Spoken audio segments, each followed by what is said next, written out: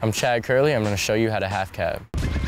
So once you learn and mastered going fakie, a half cab is really like the most stylish and coolest way to get out of it. So when going fakie, make sure your hips are centered or a little bit behind your seat, and that's gonna help you balance. And the direction that you wanna go, you look over your shoulder and kind of give a counter turn with your front wheel.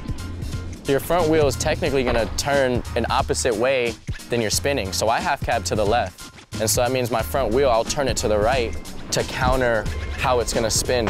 And as soon as you counter, you're popping.